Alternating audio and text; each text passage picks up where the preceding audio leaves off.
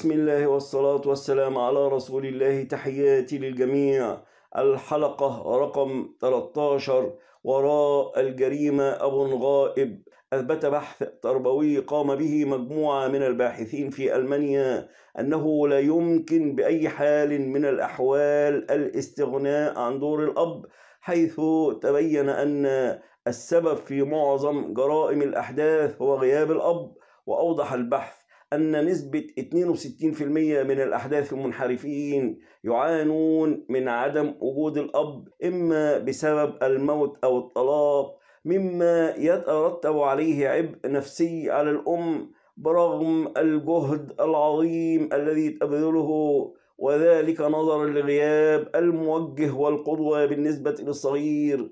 كما أثبت البحث أيضا أن الأولاد يتأثرون أكثر من البنات بغياب الأب ولذا ناشد البحث الأسر التي تفتقد الأب إلى إحياء دور الأب البديل المتمثل في العم أو الخال أو الجد أو ما شابه ذلك حتى يجد المراهق الصغير الصديق الذي يبثه شكواه وأسراره فضلا عن اتخاذه مثلا أعلى.